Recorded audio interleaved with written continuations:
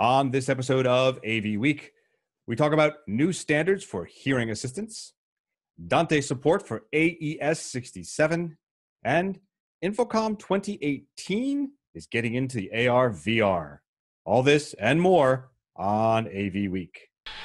The network for the AV industry. What are you listening to? This, This is AV. This This. this is, AV, Nation. This is AV Nation. This is AV Week, episode 347, standard issue. Support for AV Nation is brought to you by Christie Digital and by Crestron. And welcome, everybody, to another edition of AV Week, your source for news and information on the AV integration industry. I'm your host, George Tucker. Thanks for joining us. Each week, we cover stories relevant to the AV industry, and we ask people to comment on them in the industry. And one of the good things that I get to do is talk to really smart and entertaining people. And this week is up on that order of high level. So, joining us today is Mike Tomei. He is the principal at Tomei AV Consulting. Welcome, sir. Hey, George. Thanks for having me. Yeah, it's been a while since we've last talked. You were on uh, EdTech a lot lately. Right. Yeah. Yeah. Also joining us is Dawn Mead. She is senior AV architect and project manager at a leading aerospace and defense contractor. Yep. Hi. How are, how's everybody? Good to see you as well. It's been way too long. It has definitely. Yes. And of course, last but not least, Victoria Ferrari. She is account executive at Netrix LLC. That was formerly Synergy. Good to see you. Good to see you too. Happy to be on. All right. So let's get this started. From our friends at AV Magazine, a new standard calls for AV expertise to hearing impaired. The gist of this article is about the hearing impaired assistance regulation called BS 8300. It's a law that is an extension of the European or the UK Equal uh, Equalities Act of 2010, and they're part M of building regulations. That's very similar to our US ADA regulations. Uh, it concerns the hearing assistance loops and is aimed at a more specific rules of implementation and the skill sets required. Now, this is something very similar to many years ago when, say, InfoComm and Cedia okay, they weren't technically fighting, but they were working on legislations that made their certifications the ones that would be required for low voltage guys. I think this is a very similar situation. The article takes pains to point out that instead of having the electricians put this in, they want to have qualified low voltage folks for various and sundry reasons. Dawn, I'll start with you. Again, that taking away from electricians. Are we being defensive in this idea with the industry, or is there a really need to do that with these hearing loops? I, there, there is an element of self-defense in there, you know, making sure that we're still part of the game. But I think realistically, there is a, a call for keeping AV people involved in this. Uh, I just recently made the shift from an integrator to an end user, and it's really, really opened my eyes just in the past four months how many things we know that you think everybody knows and they just don't.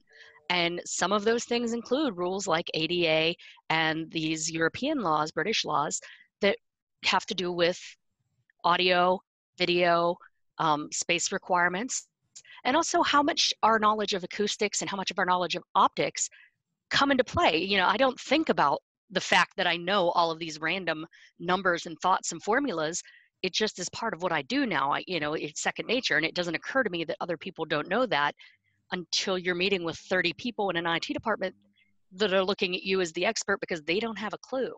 So I, I think it's really important to know that the person installing your hearing loops, particularly in public spaces like movie theaters, like um, you know bank queues, things like that, that, that they understand the acoustics of the thing. You're going to have a completely different experience with a hearing loop in a nice movie theater with padded seats and padded walls and and you know all, all the carpets and drapes that come in movie theaters and, and and even public you know theater theaters versus a bank with marble floors and marble walls and glass in front of the tellers so they don't get shot and you're doing a ceiling loop so I, I think it's very important to have that knowledge of acoustics and av expertise when going in Mike, Dawn points out, you know, a good a good argument for having an AV integrator, right? This does fall back a little bit on the AV IT, who has ownership of certain parts of these installations.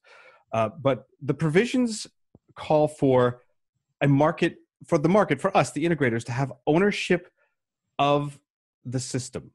Now, this is a European one, but it can be very similar here, in which they're basically saying if the system fails, you must be the one who makes sure that it gets up and running immediately because having anyone not have equal access is a fiscal responsibility. There could be penalties to this.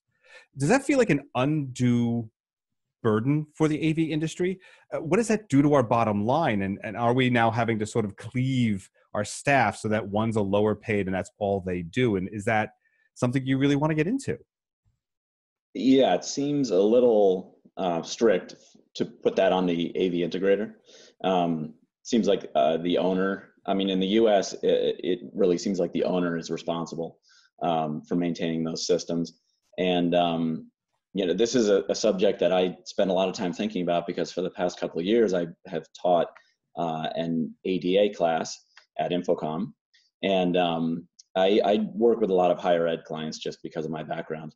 And um, ADA is huge in higher ed because these are public gathering areas and um, every year i can i can spend you know hours talking about reach ranges and um, you know turning radiuses and things like that for wheelchairs but uh, everybody wants to hear about uh, hearing assist in these classes because it's such a huge topic right now and there's so many schools that are out of compliance um, that just don't have anything in their classrooms installed much less loop systems um, so it really needs to be the owner that I believe, um, you know, really kind of takes control and makes sure those systems are up and running and always available um, when they're needed. But there's a lot of clients that just don't pay any attention to um, hearing assist, um, much less uh, any ADA rules or standards when um, when it comes to AV installations. So it's like a really big thing for AV designers to start thinking about, and the owners have to be the ones pushing it because a lot of times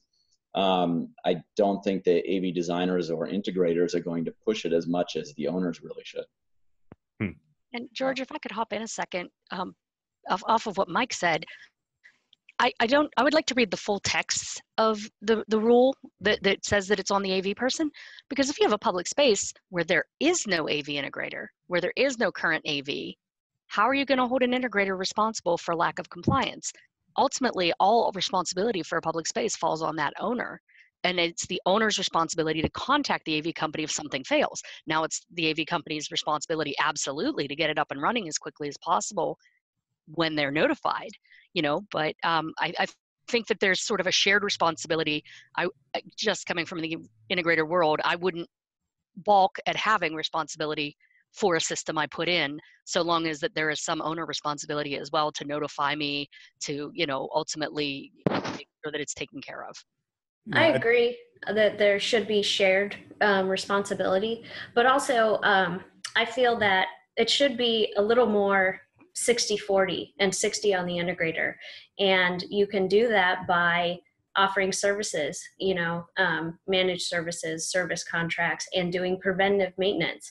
Um, you know, I think with a feature such as um, help, helping the hearing impaired, you know, that it has to be done by an AV professional.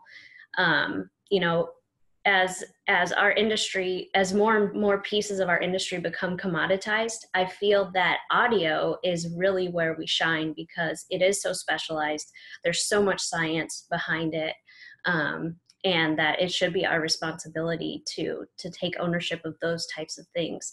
So i think it's good that there are um, you know governance um, and compliance standards but not only that that it has to be there but this standard from what i read they have they give specific instructions on you know the installation and certain features and specifications and i think that that really is a good thing because it holds um, the integrator accountable but then also you know a gc looks at the spec is like oh i don't have anybody in my wheelhouse that can do this. I've got to go find an av integrator. So it brings it allows for av integrators to come into projects earlier um, which is always our struggle. It's something that we want and you know so i think it's i think it's definitely a good thing Well, so from that, Victoria, I'll, I'll, take it. One of my next questions, the last questions on this topic, is go: Do do these kind of standards help or hinder us? Because they are so very specific, and I wonder, is that degree of specificity, that that sort of granular, it'll only be this bend of a ratio, and it only goes this far.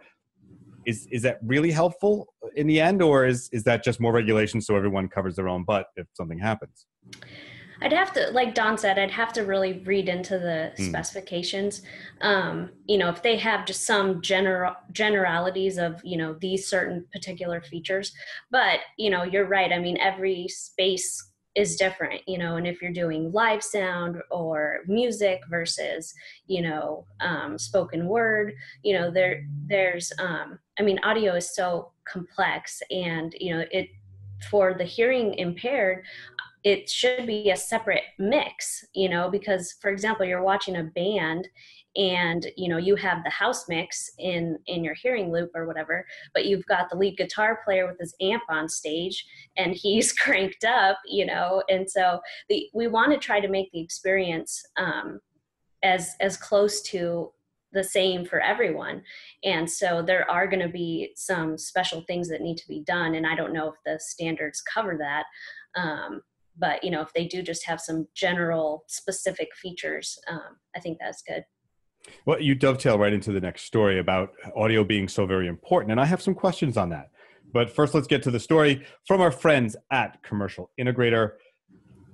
Audinate announces aes 67 support for the dante ultimo chipset and SMPTE support across dante platforms all right so there's a lot here to unpack but in essence, what it's basically saying is that the Dante Ultimo firmware, so it's a firmware update, adds the ability for these products to send audio streams to other non Dante products that use AES 67 standard. This is according to the Direct Audinate announcement. So, Mike, I'm going to start with you.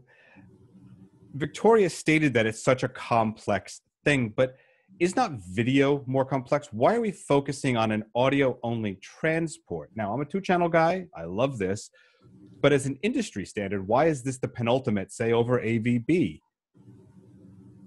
Yeah. So, on one hand, it's nice that you know people like Dante are playing well with others, and there's interoperability between all of these different standards. Um, but it is just a, like you said, a kind of a conglomeration of all these standards that have to be all merged together and nobody's really picking and choosing one to kind of go with. I mean dante has definitely um, done really well in in certain markets but then um, you look at other markets like broadcast or um, that sort of thing and and there are other audio standards that are are prevalent in there too. So it's tough.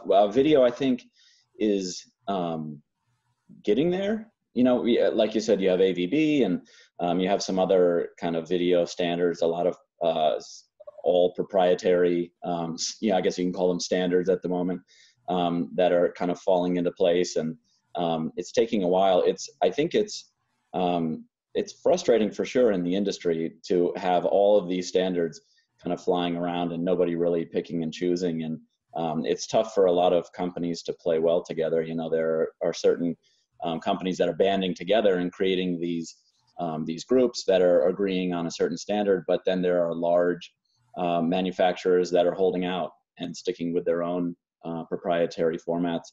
And um, it's just uh, the nature of a commercial industry, but um, it definitely hurts it. And um, it, it, it's really hard to kind of, as a designer, um, to look to the future and, and say, okay, who's going to win this war? And um, where should I be telling my clients they should be spending their money. So right. So, so Dawn, let, let me continue that that thought that Mike was having about how so many standards. It's it's a sort of double edged sword. We know that having proprietary standards helps grow certain segments because there's a desire for it, and therefore, once it builds up enough steam, other companies want to get into the act. But what, looks like we're doing again is relying on a third party standards organization, albeit the Audio Engineering Society, no joke there, of a, of a standards organization to develop a way for us to talk to each other. So, is having an open standard protocol a help or a hindrance in this case? Uh, where does that demarcation line happen where we go, all right, guys, we all got to talk to each other. We either have to share the same standard or or do the what the MIDI route. I know I say this all the time to people, the MIDI protocol allowed everybody to do what they need to do. Why aren't we doing that? Well, the one job I haven't had in the industry is the manufacturer, so I couldn't answer that last question why we're not doing that. Um, but I, you know, I think that the importance of standards is is more clear from this side of the fence as an end user, and that's if you're not super familiar with the industry or not super familiar with how performance should be for any particular product, having the standards and having documented standards give you a benchmark that you can do your commissioning against. They give you a benchmark that you can use in your RFQs and your SOWs, your RFPs. Um, it really provides a framework for end users to build on. And so you don't have to have the knowledge, but you have to say, I know that this knowledge base exists, and therefore I require you to have this knowledge base in order to do the job properly. Um, and I, I think that's invaluable um, as to which standards or whether we use a proprietary standard versus an open standard you know the manufacturers are going to fight that out. Looking at the computer industry because you know convergence is 10 years in our rearview mirror i now directly report to the head of it for my sector here you know it has had open standards across the board apple notwithstanding you know any pc from any company will work together. They have certain standards they adhere to. My very first computer, I'm dating myself, back in the 90s, was a Packard Bell that didn't adhere to standards. And when my motherboard went up, I had to get a Packard Bell motherboard because no other motherboards fit in there. It didn't match the standard. And if I needed a new plug, it wasn't a standard plug. So I had to get their plug if you could find it. So, you know, the, the open standards thing is not new. It's not new to the tech world at large but it's seeming i mean we you know we act like it's new to us but it really isn't even new to av you know we're on our second revision already of some of the avixa standards with ansi and stuff. So you know granted eh, like everything else in av we're slow to drag our feet to adopt things but the standards are out there. It's a matter of using them and it's a matter of, of getting on board the train because this is the way the rest of the world operates. If we want to remain relevant and not be replaced by the electricians and the structured cable guys and the IT guys of the world, we have to jump on that bandwagon and learn to love standards and learn to use them. And I, I think, you know, if if Dante's, you know, jumping on board the standard for the Society of uh, what is it, the engineers, uh, the SMPTE and the and the AES, you know, American Engineering, yeah, you know what I mean? those guys, those guys, what no sound. Yeah. Um, you know, we're jumping on board these standards. That's for the good. That means that Dante might win if another transport in our industry doesn't jump on their standards. So I think it just gives them a leg up in the market. So Victoria, you you touched on this at the beginning of this conversation, but why do I care about AES 67? Do I really care about an audio only protocol? Why? Um, audio is important you know? Um, it's it really is it's something that you know the average person doesn't understand but um, it affects them in a way that they don't even realize you know? Um, i think that audio a lot of times you know even me I, i'm learning more and and becoming more of an audiophile because my husband is a live sound engineer. And as he's upgrading our living room you know he's um, he's doing all these things like changing the acoustics in the room and you know he puts like pink noise through the speakers and he like adjusts the levels of the bass and we i mean it's and then we go from watching a movie you know on our old system to now watching it on our new system. And it's almost like the video looks better with better audio. It's like that you know it's it's crazy how people dawn't realize the difference between good and really good in audio. And i think that um you know having standards like don said you know the it industry's been doing it.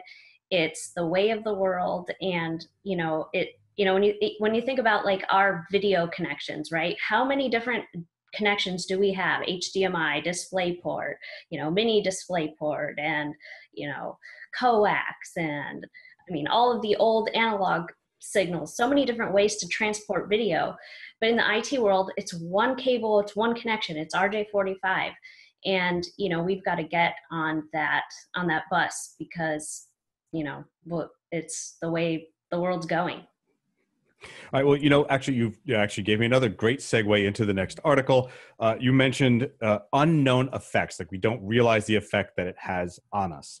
And from our friends again at AV Magazine, they are describing about InfoComm 2018 announces center stage speaker lineup. Uh, to quote from the article, the center stage sessions will explore how to increase audience engagement through personalized and immersive experiences by way of augmented reality, virtual reality, wearable technologies, human centered user interfaces, and more. I think this also includes sort of IoT centric themes here, right? Uh, it sounds like a really good seminar. In fact, it probably could be a seminar that we go to just for a day on that one. Uh, Mike, I'm going to start with you on this.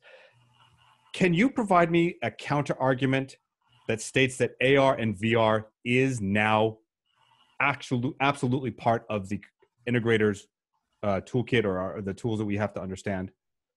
Yeah, I mean, well, I'm living it right now. So I have a, uh, a project that I'm working on for a uh, community college here in Central New York, and um, the uh, VR is a big part of it because um, they're looking to really um, create a classroom of the future um, really market the school to incoming students when they are taking their tours. Um, you, you, know, like they said, these students are, are coming for uh, tours of the college and they're looking at uh, technology and they're thinking in their head, we have better technology and better classrooms at our high school than these colleges do. Um, and, you know, so we are um, actually incorporating, it, it's, it's a uh, science department uh, that kind of owns this classroom. So we're incorporating uh, VR into the room and um, we created a, a, large active learning classroom and then a uh, separate VR lab attached to it using part of the space that was available. So um, it's here and it's happening. And when I started the project, VR really wasn't on the table. We just were looking to create an active learning classroom. And um, once the VR discussion started happening, um, the client really looked to me for some direction. And um, you know, even though in the past we would have said, well, this doesn't necessarily fall into AV design and you know I'm just going to do my projectors and sound system. Um, now they're looking to me for some direction and um, we're working together to create this uh, VR environment um, and VR lab for them.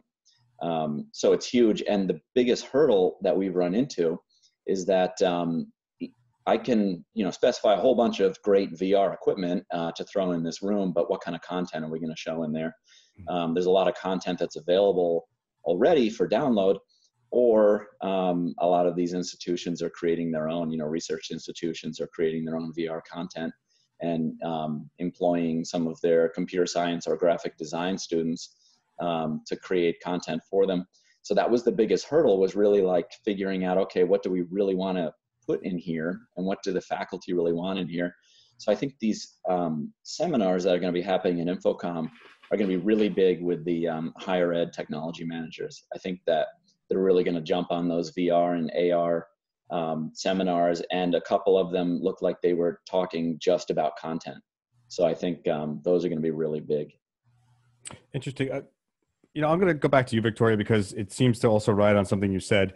A lot of these uh, seminar subjects or the, the, the the center stage subjects deal with the psychology and system interaction or the psychology of system interaction. Now you mentioned an unknown effect because the audio makes it look better. Uh, what can we do to make sure that our AV integrators from top to bottom actually understand that concept? I mean, we kind of get it with lighting, but we still don't really have that where guys understand how lighting affects the home and the feeling we all deal in a commercial world as well. Where does that apply, and how do we get our ground troops to be able to understand that and always keep that present in their mind when they're designing and implementing the systems?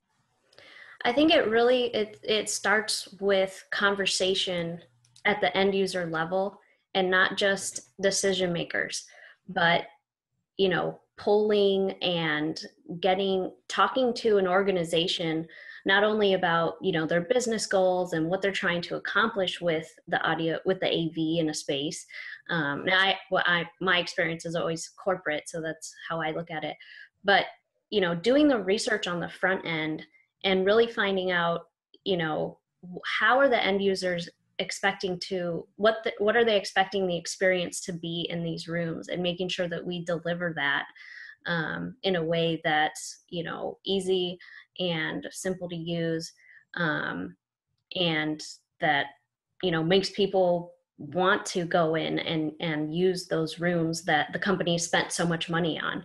Um, so i think that is a big factor is you know educating ourselves on our clients and what what do they want um, and what are they trying to accomplish? And then trying to guide them a little bit you know if they want something crazy of course um, but i think that i feel that a lot of integrators don't do enough homework on the front end um, in in research with the actual people who are going to use the rooms. Yeah a little bit beyond just the technology but how one experiences it. I'm sure a lot of us will are ignoring this side of it but then get really frustrated with poor you know interface design or poor uh, communication portals for our for the companies we want to talk to and not realizing that's exactly what we have to keep in mind every time we do it uh, dawn i'm going to pose a really hard question to you Oh, goody. yeah.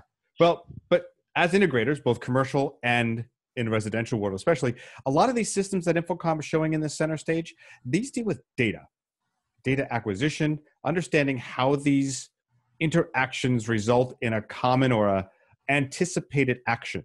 So we're going to be recording and not just their movements, but what they watch and when they watch and how they watch. And where do we come to how do we i guess is the better question deal with the fact that we are going to be the torchbearers the holders of this data are we going to hand it off to someone else or is this really an opportunity to maybe take something back from the it world hmm that was a good question um yeah. i would say you know i think there'll be a portion of data that you'll be able to keep but again speaking now as an end user I think that there'll be sort of a given or an understanding that the users will have access to the data. And you know uh, we will get the reports or we would be able to get it log in and, and monitor what they're doing in this conference room or you can check on what your kid's watching when he has a day off from school and you're at work or you know that sort of thing. You, you, the user will need those metrics even more than we will. Er, I'm, I'm still saying we like i'm an integrator still. Yeah. it's a new position but uh, more than the integrators you know the integrators will want to know are they using certain equipment? Will we be able to sell more of those big expensive fancy blah blahs yeah that's good info to have. That's good data to have. But the real value in the data collected by these systems is in the users in an organization like mine within this company to know which conference rooms are booked more often mm-hmm. to know which systems are used and which systems are not used and which features within those systems are used if we're paying $100000 for a particular setup in a room and we find out that the same thing could be accomplished based on the metrics with a $50000 system hey, guess what? We're going to be heroes to the, the, the few people who use it, but not in every conference room. You know, those sorts of decisions, those sorts of, of granular knowledge of the use of the system is what the data is about. And I think the end users will get more value with that. And even the home people, like I said, you'll know if kids watching a channel he's not supposed to watch when you're not home or you know forget nanny cam you can find out exactly what they're surfing and if they're using their, your netflix and and you know what they're listening to and what they're exposing your child to. You know there, there's a lot of info that can be found there that mm. are that is of import to the end user. So i think that's where the value is going to lay. And it would be your job not our our job as the av professional to provide that data to the end user whether you do that as a separate service and charge them for it, whether you just give them their system and say, by the way, here's where you find all your metrics and your big data. You know that that's up to the individual to figure out. Maybe people pay for it maybe they won't. If they were smart they would but you know they might say hey, much like who owns the code god help us bringing up that topic. Well we just bought this system. We paid for all that equipment so the data is ours. Why are you telling me i have to pay extra for my data of my system in my house or my conference room so I'll leave that can of worms for the next show, but uh, that, that's kind of my thoughts on it. Well, you can also probably there's a good show on it for state of control with. Uh, um, I'm sorry, just the state of control, a show here that they go over that topic a couple of times, and it's really interesting ideas. Mike, I'm going to give you the final word here. What, how much data is too much data to monitor? I, well, I think that's where the the money is for the integrators. So, uh, like Dawn was saying, who who owns that data? You know, it's it's your system. Um, you would think you own it, which you do um, as an end user. But um, are you going to take the time to um, kind of tabulate all that data and collect it all and present it all? Um, and that's where the integrators come into play when they offer these services um, these monitoring and kind of data collection services for clients. And then they can just feed them back easily digestible information. You know, like I mentioned, I, I work a lot in the higher ed world and um, the data is huge with higher ed. You know, if you can go to a CIO and say, look, you know, we have um, this amount of classrooms and um, here's the hard numbers of, of the usage and we need to, um, you know, we need more money for these uh, AV upgrades and um, here's our exact usage numbers um, all tabulated that's what they want and they'll be able to go to the to the higher ups and ask for more money and it's like so tabulating that data is um, where the where the money is i don't think that you know we, we need all that data like i love it you know being able to to come up with these numbers now back in the past it was like uh, I, you know probably people are using we could look at lamp hours on a projector and um, that's all we can give you. So, um, you know, what if somebody left it on over the weekend? Well, all right, so that's not a good number, but uh, that's all we had in the past. So now um, it's great that we're able to um, connect all these devices and pull all this data. So I like cool. it. Yep. Well, we have to leave it at that because we've run out of time for today. I want to thank my guests for joining us today for a really good conversation. Again, Mike, uh, where can they find more about you and what you do? Well, my uh, website is tomeiav.com. That's T O M E I A V.com. Or um, connect with me on LinkedIn. I'm always on there. There you go. Dawn, where can we find out more about what you're doing, where you're going to be, and all that stuff? Well, I can tell you right now, thanks for the intro for a nice shameless plug. I will be at InfoComm, my first time as an end user, but as other years, I am teaching. So if you're interested in a class on recurring revenue things, look me up. I'm teaching a class on Wednesday at InfoComm for InfoComm eh, for AVIXA. Um, so look that one up. I'll also be running around the show with my friends for AV Nation and uh, doing some end user things as well. Um, can't give you my email here, but I can certainly let you know that I'm always on LinkedIn under Dawn Mead, and I am of course on Twitter at AVDawn, where all of my opinions are my own. At what? No, no information about your next band uh, competition? Uh, well, that's coming up in uh, next, not tomorrow, but the weekend after down in Richmond. So if you have, or uh, down in Norfolk, if you're in the Norfolk area and go to the Virginia Tattoo, come see my pipe band play. Because we're pipe. Yeah. Very cool. And Victoria Ferrari. Victoria, where can we find out more about what you're doing and your musings? So, um, as Dawn, all my opinions are my own as well. Um, but you can find me on Twitter, Victoria0429. I'm also on LinkedIn, and you can check out my company website, which is netrixllc.com. Very cool. And I am George Tucker. I am here with AV Nation, but you can follow me on, well, any of the social media platforms at Tucker2s. I also write for a number of trade magazines. Please tell them how much you like them. No, really, I'll give you a, wooden nickel for each one. I appreciate it. Uh, but thank you again for watching. This has been AV Week on avnation.tv. You can go to avnation.tv and find a host of other shows about the market verticals in the integration industry.